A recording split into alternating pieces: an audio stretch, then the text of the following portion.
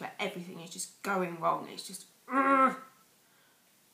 Of course, if you want to feel justified with with a result, there's two ways to go about it. You can either completely thrash the other side, or you can come from behind and, and beat them.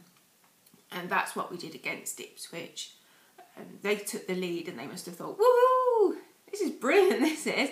And we've managed to rip off the Leicester fans of £32.50. Or those that bought on the gate apparently paid £40. £40. I mean, it's absolutely disgusting. Ticket prices in football are shockingly disgusting, especially when you consider that people are struggling at the moment. But that's beside the point. We won, and you can shove your £32.50 where the sun doesn't shine, Ipswich.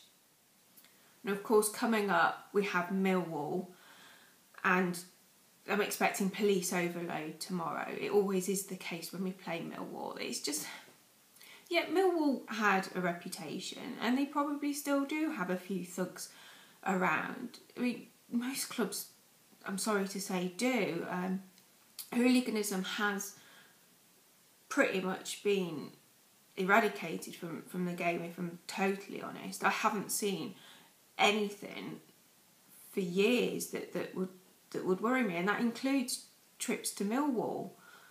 But still, I'm expecting to turn up tomorrow and there'll probably be only a couple of hundred Millwall fans there.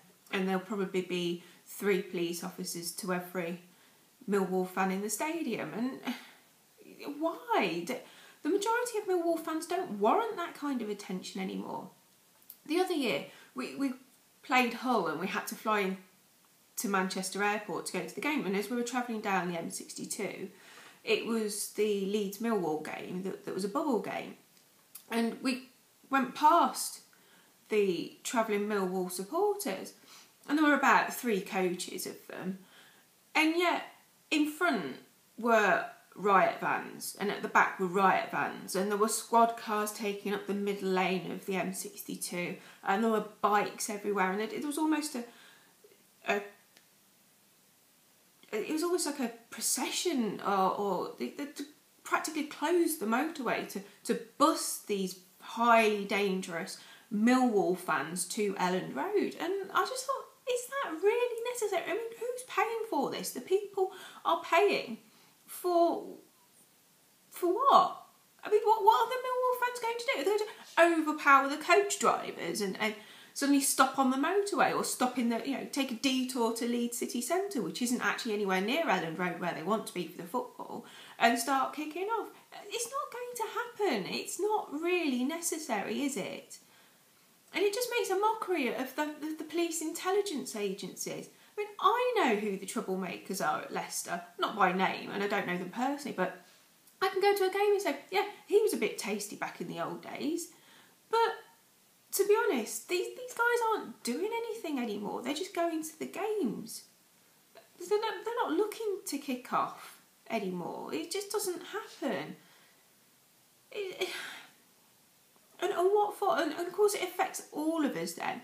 We all get treated like criminals. So there'll be loads of police out and about tomorrow in town because Millwall are coming. Don't go to the football we'll be out in town and, and someone will say, oh, it's Millwall, Leicester. And then people will think, oh, football fans, We'd best not stay around too long because we don't want to be around when they all come out and start scrapping in the Highcross. It's not going to happen. Please, can we just have a little bit of common sense and just leave the fans alone? Just let us get on with watching the football, please. I'm surprised there hasn't been a film made Millwall, starring Jason Statham. I mean, it's about the only film he hasn't done, has it? I mean, because could you imagine it? I don't even think he'd be hard enough to, to portray what Millwall fans are supposed to be like.